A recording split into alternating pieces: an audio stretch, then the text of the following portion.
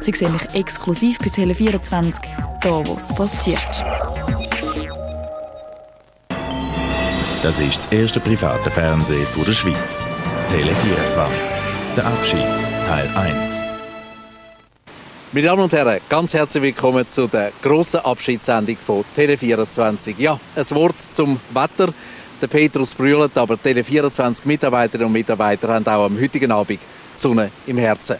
Wir nehmen Abschied von Ihnen, meine Damen und Herren. Wir erwarten sehr viele Gäste bei uns, die Abschied nehmen tun und die die letzten Stunden von Tele24 hier im Steifels Areal miterleben Ja, da auf dem Dach vom Cinemax, von dem Kino im Steifels Areal, hat vor drei Jahren alles angefangen.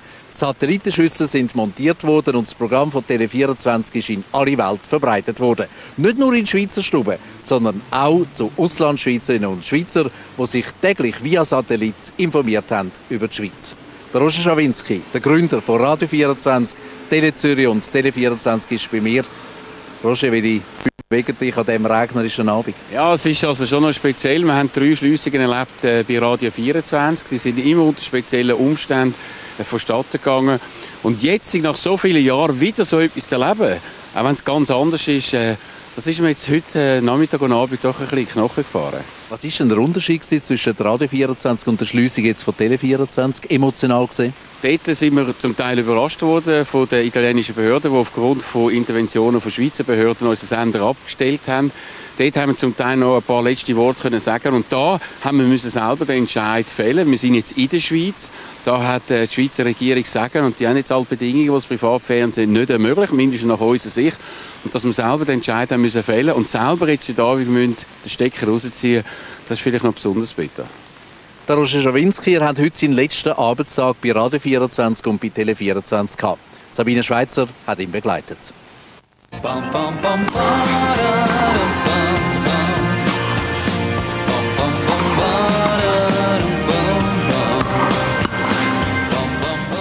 Tag von Roger Schawinski als Chef von Tele und Radio 24 fängt sportlich an.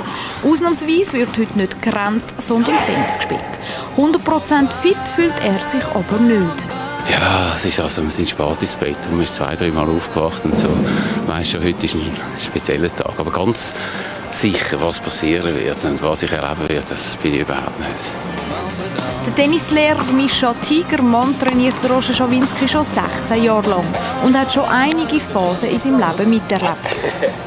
Der Roger hat so viele wichtige Tage schon gehabt und äh, so viele dramatische Ereignisse sind passiert und am folgenden Tag hat er mit mir Tennis gespielt und man hat das Gefühl gehabt, ist, äh, er ist immer der gleiche.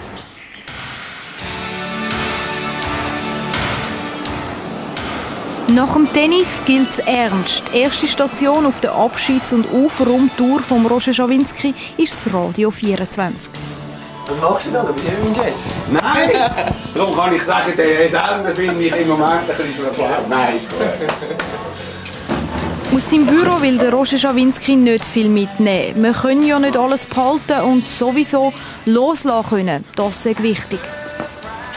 Tele 24 geht's ja. Uh, ich glaube nicht mehr. Jemand anderen haben. Der Radio 24 Gründer räumt sein Büro im Eiltempo und man ist nicht so sicher, ob er sich überhaupt bewusst ist, was er da macht.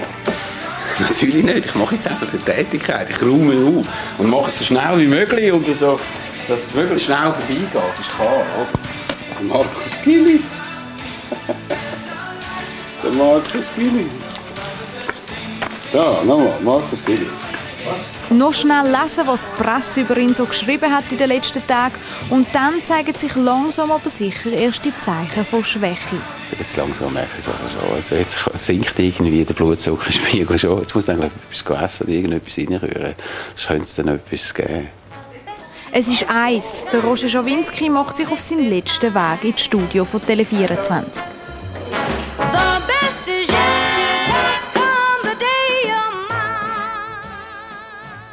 Er ist noch voll im Saft, der Roger Schawinski. In der letzten Stunde von Tele 24 hat gerade dem Kameramann an die letzten technischen Anweisungen gegeben.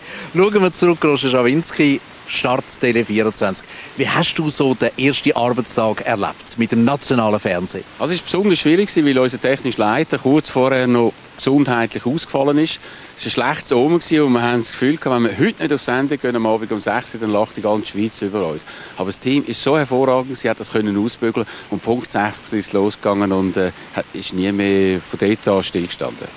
Du sagst, Punkt 6 auf Sendung gegangen. Du hast ja enorme Erwartungen damals gehabt, nationales Fernsehen zu machen. Erinnerst du dich noch, so die letzten Sekunden vor dem 6 Take-Off? Ja, wir haben bibert. Tatsächlich bibert. Und äh, es ist eben spannend. Beim ersten Mal ist es immer, was immer das erste Mal ist, ist etwas ganz Spezielles. ja, ja, immer etwas Spezielles. Und äh, dass es geklappt hat, äh, und es hat immer geklappt. Ich muss wirklich sagen, es hat immer geklappt. Äh, das freut mich und ist eigentlich irgendetwas, wo man kann stolz sein auf das Team, das das angebracht hat. Ist es auch Wehmut am heutigen Abend, dass es nicht gelungen ist schlussendlich? Ja, ist es nicht gelungen, ist es gelungen. Es ist vieles gelungen. Natürlich hätten wir das noch bis in die Ewigkeit machen Es ist gelungen, uns äh, zu positionieren. Es ist gelungen, zu zeigen, dass die Schweiz so ein Fernsehen braucht, dass man es könnte machen, dass wir ein seriöses Fernsehen machen, dass wir im Informationsbereich wirklich eine Bereicherung sind, auch für die SEG.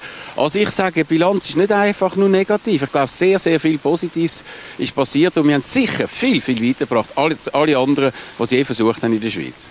Merci Roger. Ich glaube, es ist Zeit, dass wir auch langsam in Schermen gehen. Aber wir wollen da mal ein bisschen Rückblick halten. Der Start von Tele24, Sabine Schweizer, fast zusammen.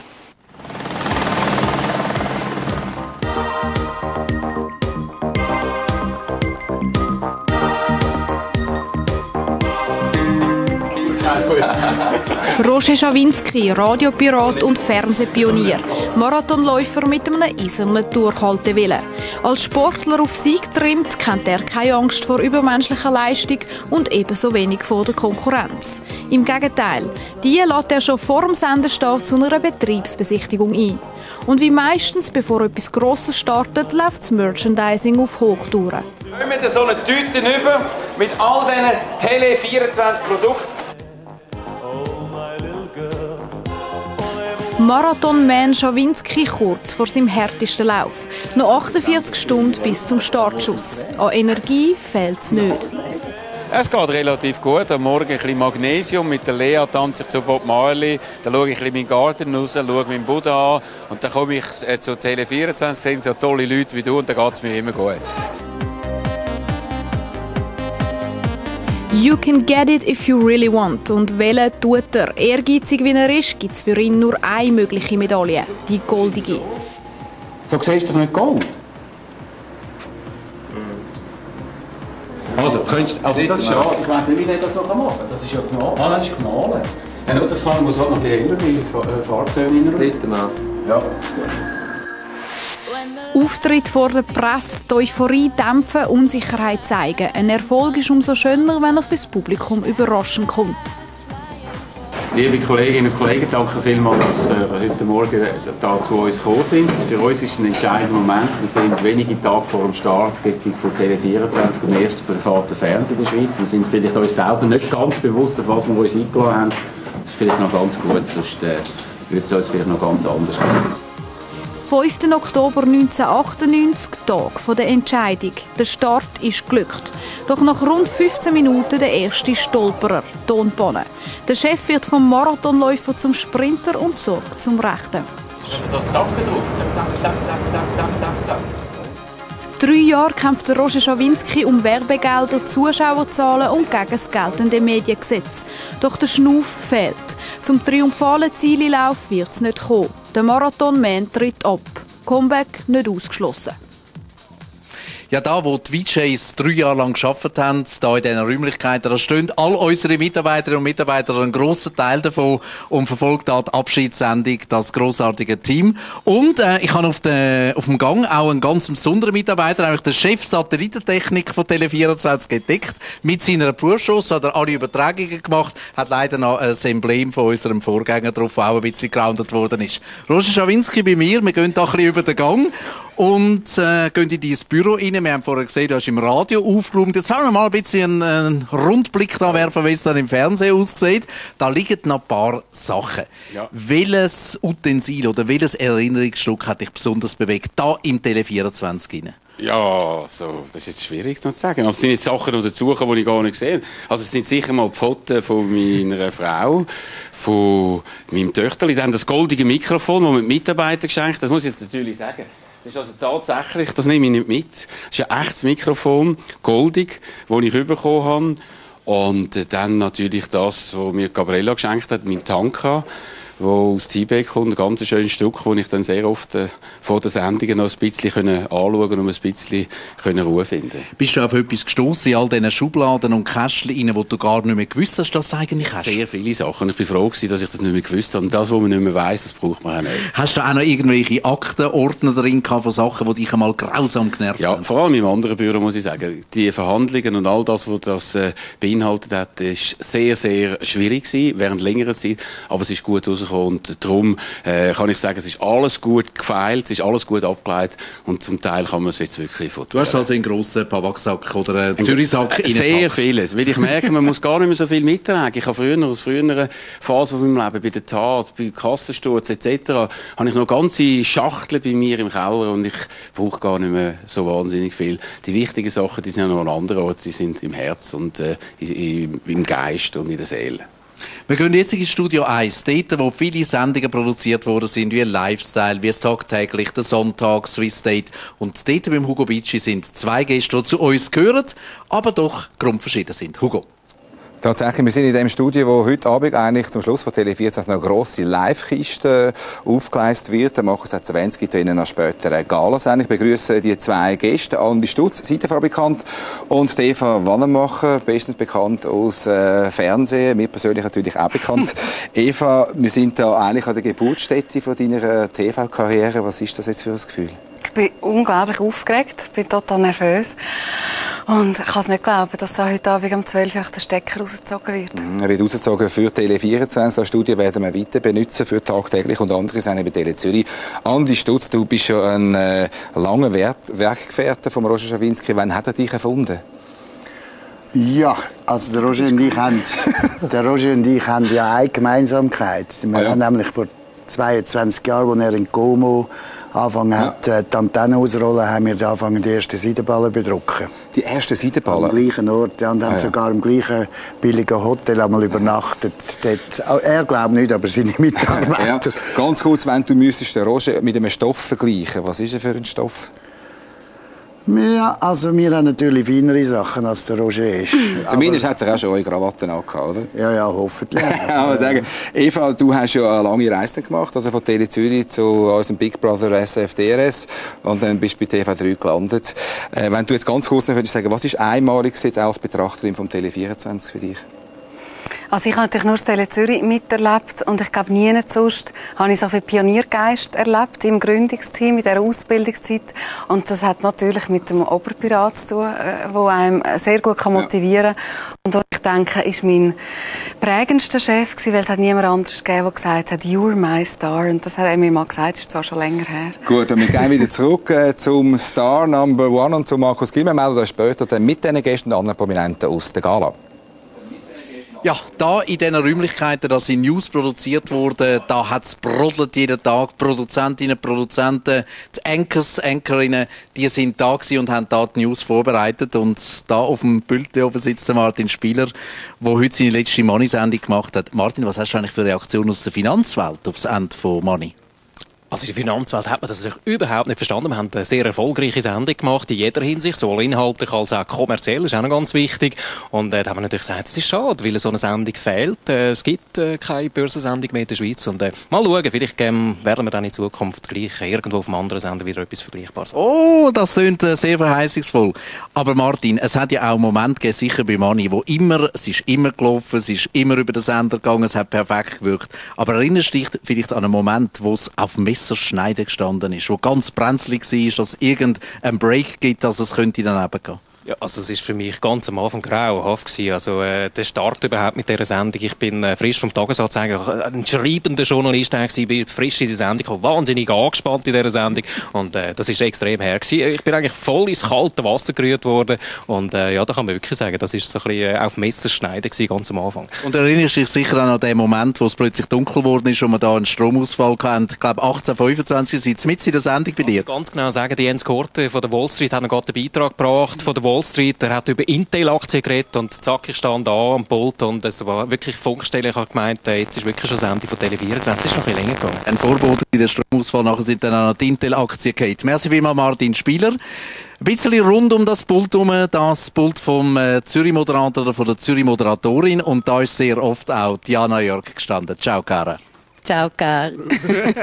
Gar heisst das, also C-A-R auf, auf Romansch. Jana Jörg, du hast den letzten Arbeitstag äh, Dienstag vor einer Woche gehabt. Wie hast du jetzt die Tage so erlebt seit dem Ende? Mit Ups und Downs, aber äh, eigentlich relativ bis zum heutigen Abend relativ gut, muss ich sagen. Heute bin ich ganz fest nervös und auch traurig, aber äh, bis dahin ist es mir eigentlich gut gegangen. Ich habe dich ja immer erlebt als eine Frau voller Seele, voller Engagement. Ich kann mir vorstellen, dass dir das sehr, sehr tief auch geht. Dass in einer ruhigen Stunde daheim du denkst, was ist da eigentlich abgelaufen? Das ist es so, ja. Also, es geht mir wirklich nach.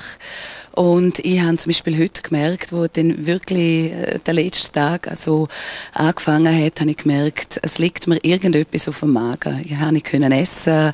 Ähm, ja, es geht wirklich etwas zu Ende, wo mein Herz auch ganz fest dran gehangen ist. Ich möchte dir ganz herzlich danken für alles, was du gemacht hast bei Tele24 und Buonasera.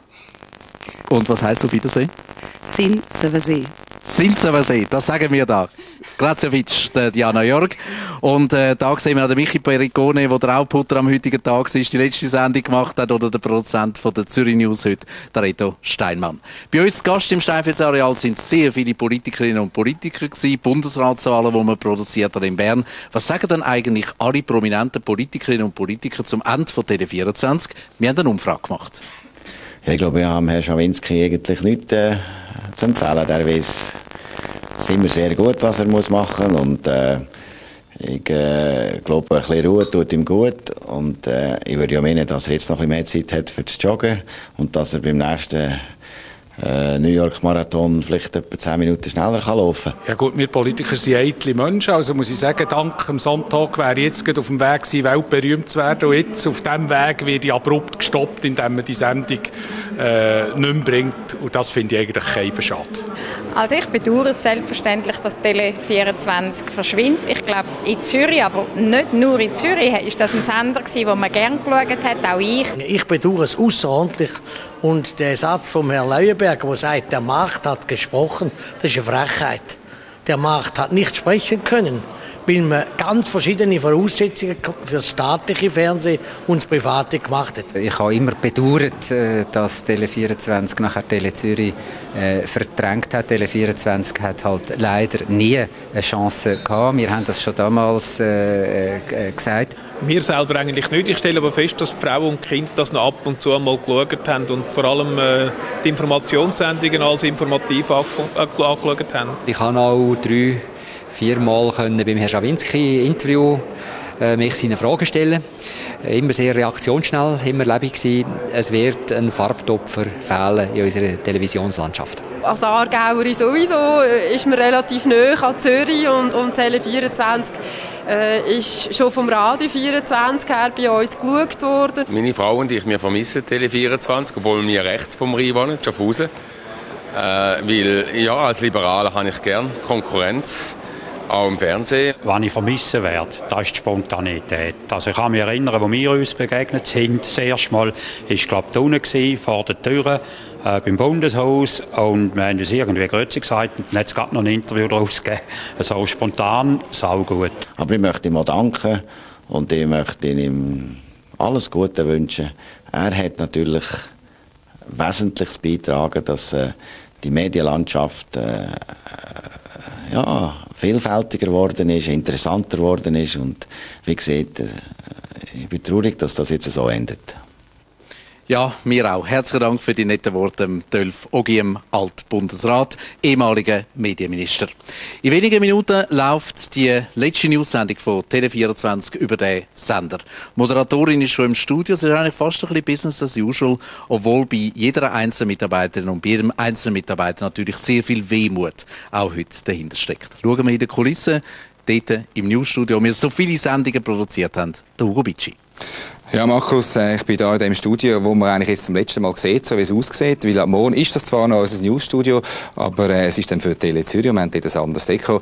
Ivano, du wirst in wenigen Minuten Tele Zürich, also Zürich News moderieren. Du bist auch der Swiss News äh, für die, die von Zürich wohnen, äh, vorhanden. Auch heute Abend dein Gefühl? Es ist ganz schwierig zu sagen. Ein Abschied ist eigentlich nie etwas Schönes und doch finde ich es extrem schön, wenn wir das heute Abend so richtig zelebrieren. Es sind ganz gemischte Gefühle und ähm, ja, ein lachendes und ein weinendes Auge. Du bist Mutter von einem kleinen Mädchen und äh, das darf ich jetzt glaub, thematisieren. Da rein, du bist eigentlich gar nicht allein da. da. Unübersehbar. Da ist das nächste Kind. Was ja. willst du deinen Kindern mal über Tele, äh, Tele 24 erzählen? Das ist eine gute Frage. Was ich sicher wird können sagen, ist, dass wir bei Tele Zürich, Tele 24, wenn ich jetzt sechs Jahre arbeiten kann, ohne dass ein Tag auch nur einmal ansatzweise langweilig war. Und das ist lässig. Peter Rödesberger, zusammen sind wir auch Gründungsmitglied, äh, 1994 mit Tele Zürich und du bist seit Anfang mit dabei. Äh, ein Bündner da in Zürich etabliert. Ist das jetzt ein kultureller Verlust für das Bündnerland, wenn Tele 24 heute zumacht? Ja, ja, für mich ist es natürlich hart, dass ich jetzt Bündnerinnen und Bündner nicht mehr bedienen mit unseren News. Im Grunde genommen, klar, da bleibt eine gewisse Trauer überhaupt. Äh, wir haben es drei Jahre versucht und es ist nicht recht gegangen, wie man jetzt leider sieht. Aber eben, wir machen weiter, wie du schon gesagt hast, wir machen Tele Zürich ohne dass Bündner sehen können. Ja, es hat viele Bündner. Zürich ist quasi genau. neben Chur die grösste Stadt vom Bündnerland. Du bist der neue Chef von Tele Zürich, noch ganz kurz. Was kann man denn äh, von Tele Zürich erwarten, auch für all die Bündner und Berner und Basler, die sicher mal auf Zürich kommen und beim Fernsehen schauen? Ja, wir nehmen die Stärken mit, die, die wir äh, in den letzten sieben Jahren entwickelt haben, emotional, ein bisschen näher dran, ein bisschen überraschend. Im Prinzip kriegt man das, was man hatte, plus natürlich Gesichter, die bleiben. Also ihr zwei zum Beispiel. Besten Dank, Peter Rödesberg und Ivana. Immer zurück zu Markus Gili. Du hast bei dir zwei Frauen, die Roger Schawinski immer wieder gefordert gefordert haben und die eine fordert dann auch weiterhin.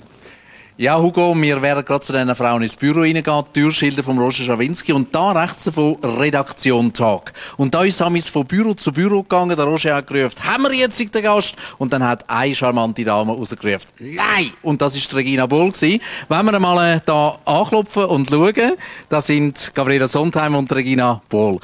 Regina, fünfeinhalb Jahre hast du grossartig tagtäglich produziert. Mir ist aufgefallen, Roger Schawinski und seine Frauen. Wenn eine Frau da war, eine charmante, dann ist ja der geschmolzen teilweise wie der Butter an der Sonne. Ist das mein Eindruck oder hast du den gehabt? Nein, da bist du nicht der Einzige. Da haben viele die gleiche Meinung gehabt. Der Roger war immer sehr authentisch. Und ähm, ja, du sprichst mich jetzt sicher auf Hannelore Elsner an. Mhm. Das dort hat es ein bisschen erotisch knistert, oder? Super Hammer gewesen. Weil ähm, sie oder sehr distingué fährt ein und ähm, sitzt an dem Bildchen und immer mit ihren Ist so gewalttätig oder, oder, Und er wirklich wie ein Kleiner irgendwie vor dem Weihnachtsbaum. Und es ist von ihm, von seiner Seite ist nicht mehr sehr viel gekommen. Und das ist ja sehr, sehr, also das gibt es eigentlich gar nicht beim Roger, weil der holt immer wieder etwas aus dem Köcher raus. Und dort ist er wirklich wie ein kleiner Bub gehockt. Und ich muss doch sagen, er hat es wieder geschafft, weil nach der Sendung, da hat es mich natürlich wundern genommen, was passiert jetzt. Und ich bin dann immer den Gang durch und durch ab, um zu schauen, was jetzt da passiert im VIP-Räumchen. Obwohl du ja sonst gar nicht neugierig bist, gell? Nein, überhaupt nicht, überhaupt nicht. Aber ich dachte, ich muss jetzt doch schauen und Sie sitzt dort, raucht eine nach der anderen und der Roger ist ein Hardcore-Nichtraucher, mhm. aber er lässt sich rauchen und sie erzählt ihm, glaube ich, das ganze Leben. Er hat es mir leider nie nacherzählt, das hat mich immer Wunder genommen. Vielleicht kommt das nach. Regina, ich möchte dir danken für deine grossartige Arbeit, die du bei uns geleistet hast und ich weiss, für dich geht auch am heutigen Abend ein Ehratsend. Ja, sicher, ja. Merci vielmals. Ja. Danke, Regina Wohl. Anfang tagtäglich produziert worden von der Gabriela Sondheim, jetzige Ehefrau. Der Roger hat gestern im Tag gesagt, äh, sie hat mich geheiratet, obwohl ich sie vorher ein bisschen Peace sagt, Amisan im tagtäglich. Der Roger und seine Frau, Gabriela ganz ehrlich, bist du an mich eifersüchtig gewesen? Du, es hat also eine Geschichte gehabt, dort hatte ich also schon ein bisschen Mühe gehabt, dort sind wir auch noch nicht geheiratet gewesen, und das war mit der Shirley MacLaine. Das ist der erste grosse Hollywood-Star der bei uns war im Interview. Und die ist also die Shirley MacLaine reingerauscht in den Tag und ist neben der Roger gesessen und hat ständig ihre Hand auf seine Knie gehabt, während dem Interview. Und nachher ist das Interview fertig gewesen, hat Shirley gesagt, let's go and have some dinner, wir gehen, gehen wir zusammen essen. Da sind alle runtergelaufen, der Roger mit wehendem Mantel runtergerauscht und sie ins Auto mit dunklen Scheiben, Limousine und er hinten rein und die Tür ist zugegangen und ich bin ein bisschen zu spät gewesen. Und dann haben sie mich stehen lassen im Regen, oder? Also wirklich, im wahrsten Sinne des Wortes. Du hast die schlimmsten Vorstellungen gehabt, was jetzt in der Limousine passiert. Nein, nicht in der Limousine. Ich habe nicht gewusst, was sie essen. nein, nein. Und nachher habe ich dann, habe ich dann gedacht, du Roger, ist aber schon gerade ein bisschen heavy gewesen, weil er hat einfach, er ist so, so begeistert gewesen, dass er mich vergessen hat. Dann hat er gesagt, weißt du, das ist halt Showbusiness, oder? Und dann hat er gesagt, ich mache jeden Abend eine Show und dann ist das Thema schon wieder beendet gewesen. Darf ich dich auch fragen, Gabriela, bist ja sehr verwurzelt auch in diesem Sender rein. Deine Gefühle am heutigen Abend? Ich bin schon froh, dass ich jetzt muss arbeiten heute Abend. Ich muss ganz ehrlich sagen, es macht es ein bisschen leichter. Danke wie immer, Gabriela Sondheim. Dir auch für die Zukunft. Alles, alles Gute. Ja, viele Leute haben müssen Haar lassen beim Roger Schawinski, auch in tagtäglich. Er hat ja manchmal schon die Leute ein bisschen gesagt und sehr, sehr, äh, sehr, sehr hart befragt. Machen wir ein bisschen einen Rückblick auf all die Gäste und zwar hat das verfasst Sabine Schweizer.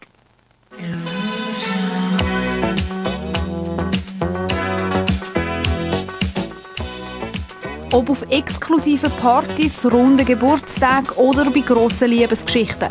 Tele24 ist dort mit dabei, wo es passiert. Die Ruhestimmung darum auch in der Welt der Prominenz. Auf ihrer Bühne geht ein Skiwerfer verloren. Und für viele Ex-Missen und amtierende Missen auch ein potenzieller Arbeitgeber.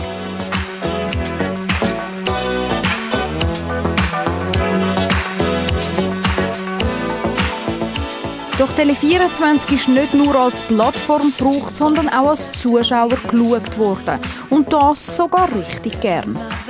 Ich werde äh, vor allem die Unterhaltungssendungen sehr vermissen. Ein Inside gibt es zwar schon länger nicht mehr, aber das hat mir sehr, sehr gut gefallen.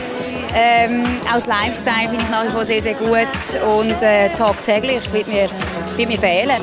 Es ist verdammt schade, dass Tele24 nicht mehr gibt. Wirklich, es tut mir leid für Roger, aber es tut mir leid auch für uns Zuschauer, denn es ist wirklich ganz toll gewesen. Und vor allem, was ich sehr, sehr geschätzt habe, es ist, dass äh, Tele24 überall anwesend sofort dabei war. Ich werde ziemlich vieles vermissen, also einige Sendungen. Sicher mal der freche Roger Schawinski im Tag Tägler, News, alles Mögliche. Und ich bin auch froh, dass Tele Zürich noch weiter existiert, weil ich werde auch weiterhin ein Zuschauer von euch bleiben.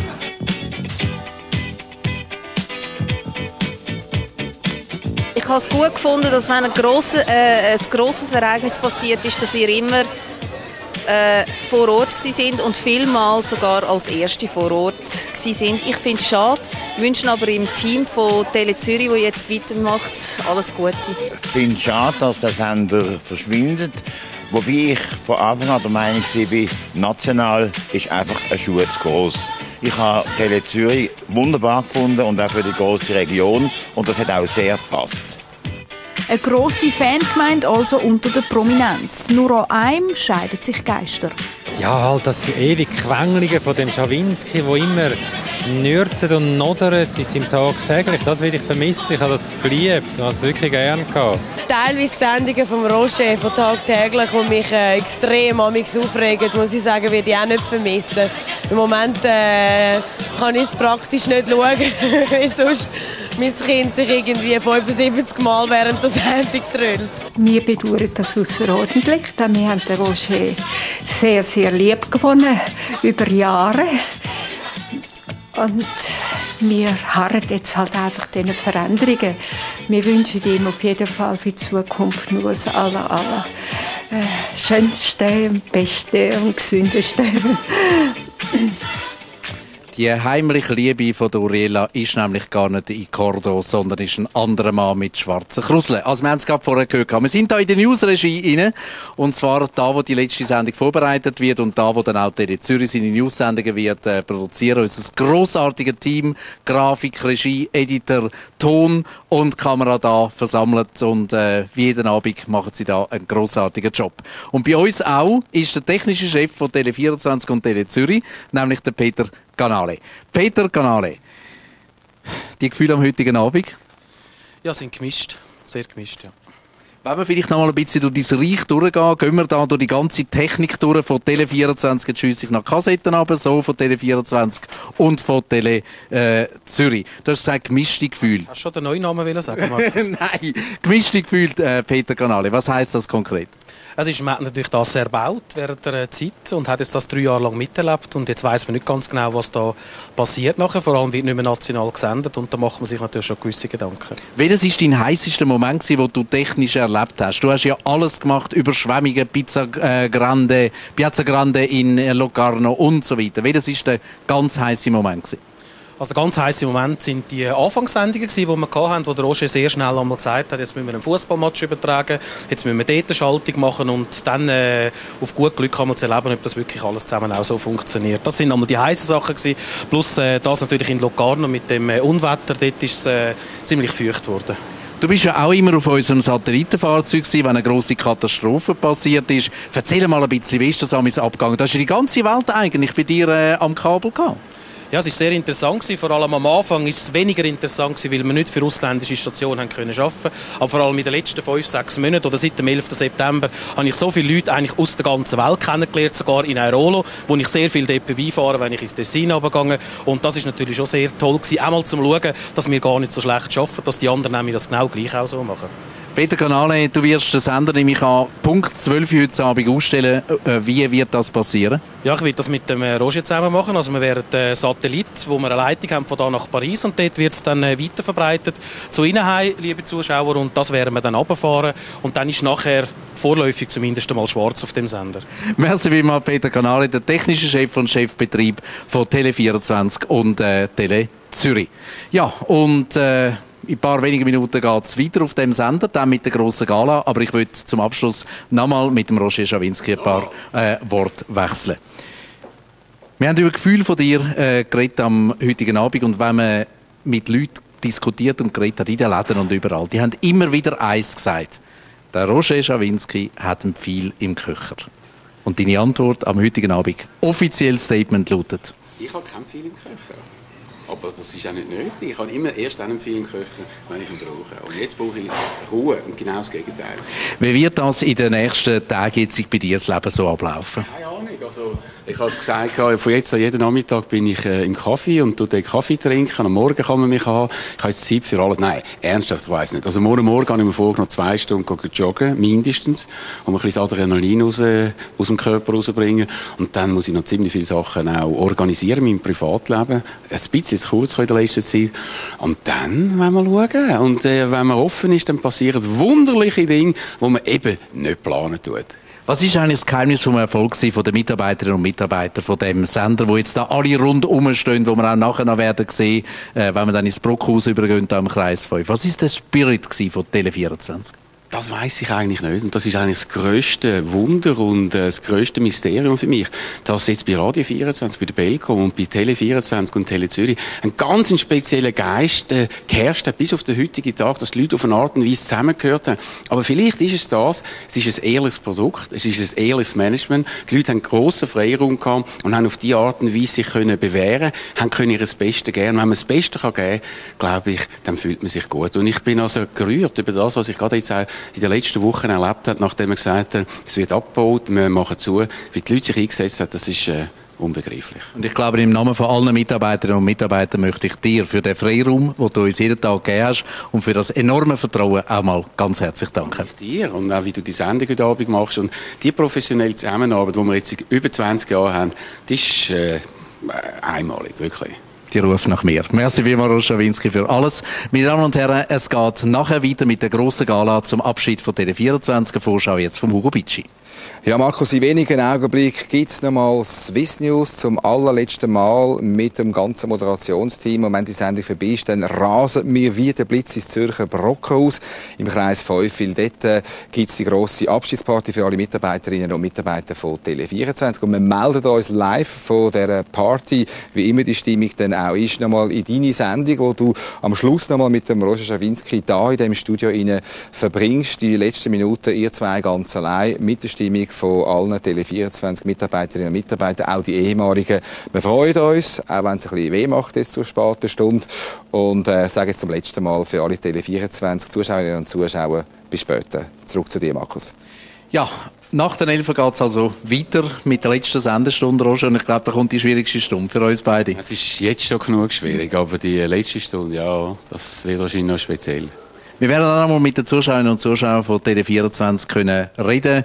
Sie, die uns so viel Support gebracht haben in diesen drei Jahren. Und ohne sie wäre ja all das nicht möglich gewesen. Ja, das ist klar. Und äh, es ist wirklich wichtig, dass wir das können sagen Über eine Million Zuschauer, die uns jeden Tag zugeschaut haben.